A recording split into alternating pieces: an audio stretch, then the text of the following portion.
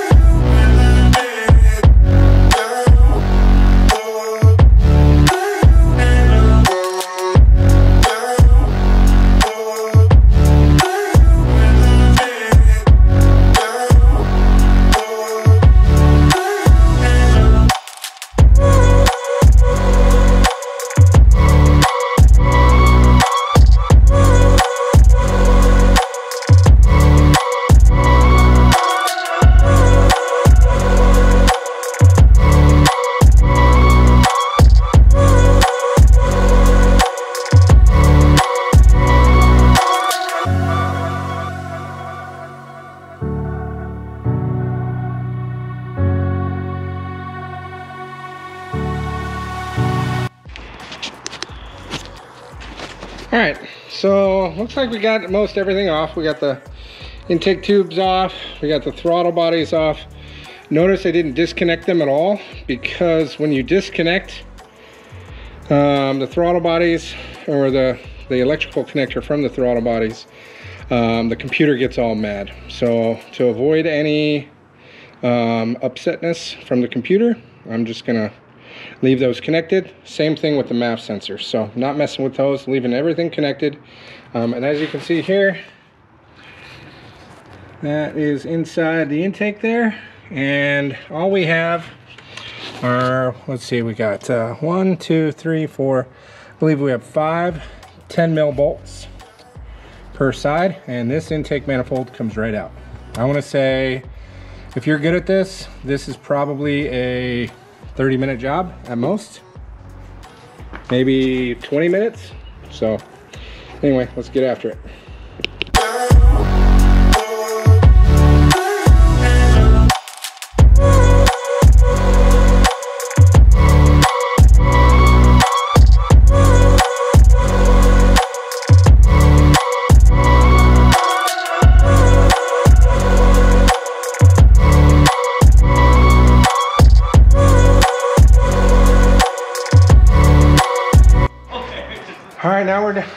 Take the intake manifold off. It should just lift up and out. So I'm gonna tilt it forward and pull it towards me.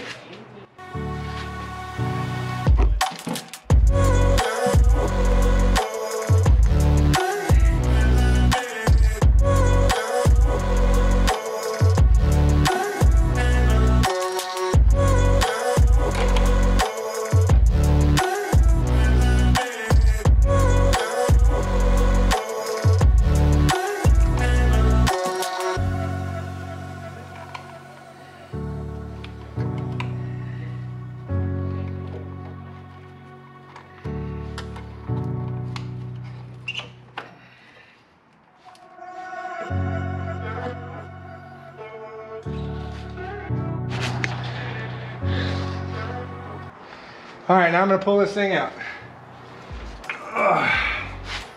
There's one little hose that goes to the back of the intake here, and that goes into the uh, the cab of the uh, the car. I think that's probably for um, HVAC, but I'm not entirely sure. Maybe I'll look at the FSM and, and see what it is.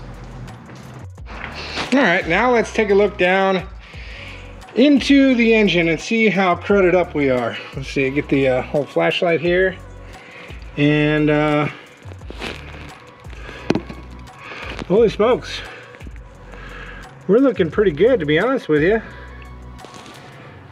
I mean, yeah, there is some carbon buildup here, but it does not look to be that bad.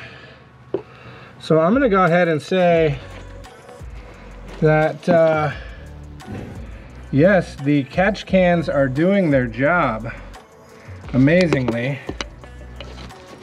Um, yeah, everything looks really good in there. So I'm, uh, I'm very happy with that. So um, I'm going to, um, I'm gonna put the intake back on, put everything back on just as I had before and I'm gonna run the seafoam through the through the intake. Now I'm not gonna run it like everybody else runs it. So let's come over here to the intake manifold. So what you wanna look for in here is if you look down in there, see if we can get a good shot of it. There's a little shiny piece right there. And what that is, see if we can look, get a better shot in here. What that is, is a hole. And for each port, each intake runner, you see the intake runners here, each intake runner comes up and they all have this kind of bulkhead fitting or manifold fitting. And you can see one here, one here, one here, and one here. And there's this big long track that connects them all. And they all go to this PCV line. So what I'm gonna do is I'm gonna run a line directly off of this. And it's gonna be a hose. And it's gonna be dipped into the top of the seafoam and I'm gonna suck it in directly. And what that's gonna do is what what uh, what I'm hoping is that's gonna be like seafoam direct injection right onto the valves right there. What a lot of people do is they will spray the seafoam into the throttle body. And what happens is you can see in here, see if I can get a good view. So there's the port right there. And that's pointing down. Can't really get a good shot of it. But when you follow this port from this engine or from this cylinder, it goes down and around over to here. And that's the bell mouth of that intake tube right there. So when you're spraying seafoam into the engine, you're not really getting seafoam into the valves. I mean, you might be getting mist in there, you might be getting something in there, but it is not like um, hitting the valves like we would if we had a traditional intake. So what you're gonna have is a lot of that seafoam is gonna puddle up in the bottom of the intake and it's not really gonna do much. So what I'm hoping, and if we look at this while like it's on the engine, what I'm hoping is that we spray seafoam in here, comes up in here to this manifold and it goes off to each one of these intake runners, boom, boom, boom, and boom, and it sprays directly into the cylinders. And the same thing over here. Same manifold, same plug right, or uh, uh, fitting right there, goes directly into each cylinder. And with any luck, um, we get it clean. So what I'm gonna do is I'm gonna put this intake back on, throttle body's back on, intake back on, Not going to really tighten everything down 100%.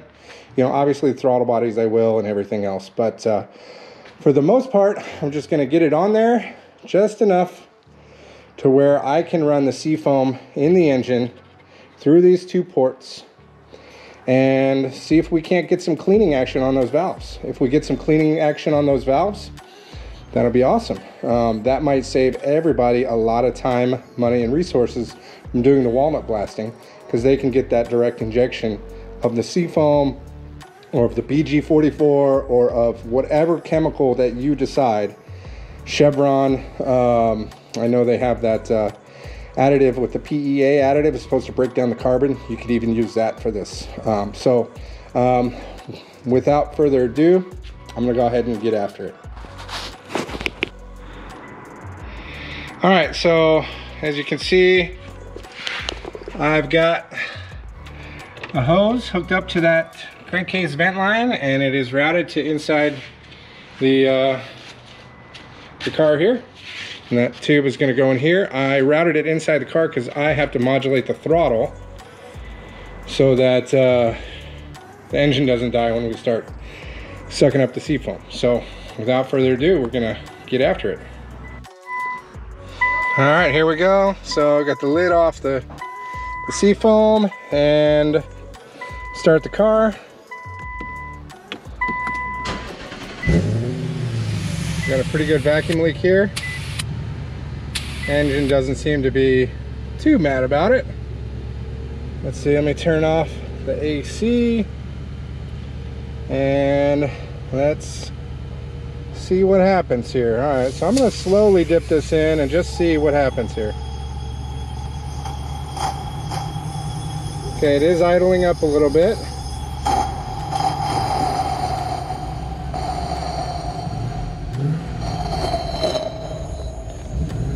A little stumble.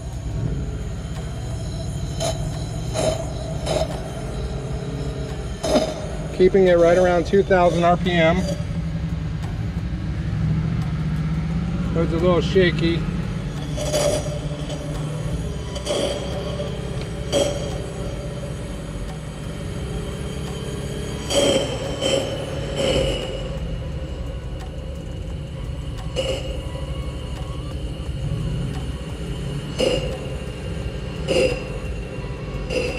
Yep, I'm getting a check engine light, that's for sure.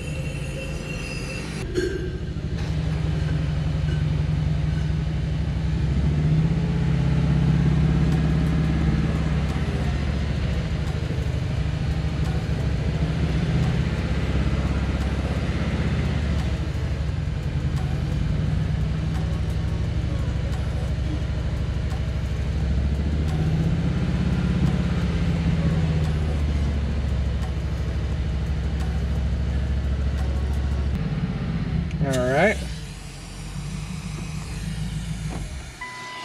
Shut that off and do the other side of the engine. Same thing. Woo! It is smoky in here. All right, now I'm just gonna do a rinse and repeat. Now I got the line hooked up on this side of the engine.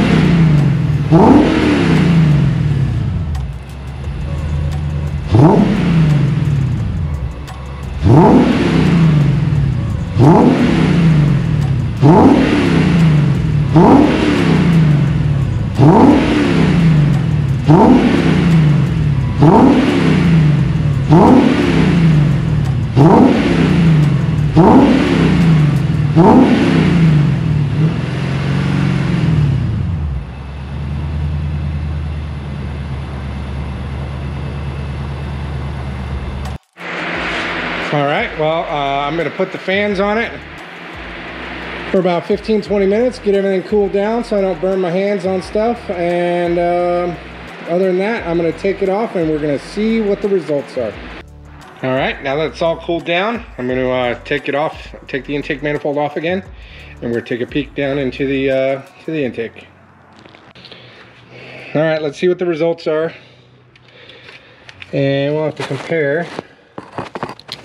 But with my eyeball, I don't really see that much of a change. Now, the actual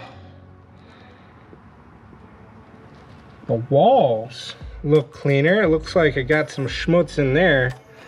But when it look, comes to the valves, I really don't see a big change. Um, so, seafoam, maybe if you do it a lot, I don't know. Maybe if you try the BG44 additive. There it is, proof. I just did it before and after, and not much of a change. So would I be wasting my money on seafoam? Well, I just did, but will I do it again? Probably not. So uh, after looking again, I do see some uh, little carbon stuff that I'm gonna kind of chunk off. I have some I have some tools that I can reach down in there and try and get some of the big stuff off, but for the most part, there's really not much going on there. The only thing that I can see is that the walls and the cylinder heads look like they're cleaner. But when it comes to the actual valves, I don't know, maybe slightly cleaner, but $26. Take a vacuum line off, suck it in there, blow smoke out your exhaust for 25 minutes. Um, maybe I didn't do it right. Somebody wants to comment, make a comment down below. Let me know if I did it right or if I did it wrong, how you're supposed to do it. Let me know. All right, thanks. All right, it is all buttoned up. Um, the only thing I have left to do is to clear the codes that got set. Probably just a misfire code. Um, probably just ticked off that uh, I'm sucking all that stuff through. But uh, overall, I would say don't waste your money on seafoam. Pay somebody good money to do the walnut blasting or clean it out with the, uh, the cleaner, with uh, like pipe cleaners and stuff. I know there's a good video on the Car Wizard. I'll link that into my description, but there's a good video that the Car Wizard does show about how to do decarboning your valves on the direct injection engines. But long story short, I would do the walnut blasting over the seafoam treatment or the fuel treatments because they don't seem to work uh, as obvious. If I didn't do the test right, tell me because uh, I feel like I did it just as I should, but the only thing maybe I didn't do is maybe start with a completely hot engine on a hot summer day. I feel like the seafoam didn't do much, so I couldn't see that changing much, but I could be wrong. Now we know that the catch cans are empty. I emptied those out. Had about this much fluid in them so it's definitely doing its job. I haven't checked those in probably three oil changes three or four oil changes so they're doing a great job. Let's see. I can tell you that the nitrous kit is ordered. The innovate gauge uh, window switch is ordered. The O2 bung for the exhaust has been ordered. Let's see, what else did I order? I feel like I got something else. Oh, the uh, separate fuel system. So that's going to go in the trunk. That has been ordered. Um, waiting on delivery status on that stuff. Hopefully by March 20th, I should have it and I can start installing it. Um, in the meantime, I'm going to be working on the Red 300ZX. Well, again, uh, thank you guys so much for watching. Uh, I get a lot of great feedback from you guys. If you guys want to um, throw some stuff in the comments, let me know how I'm doing. Throw your ideas down in the comments as far as maybe what you'd like to see in the future. I think that's about it. But yeah, again, thanks for watching. Uh, please like, comment, and subscribe if you haven't already. It is very much appreciated. So hope you all have a uh, good one and we'll see you in the next one. All right. Thanks, guys.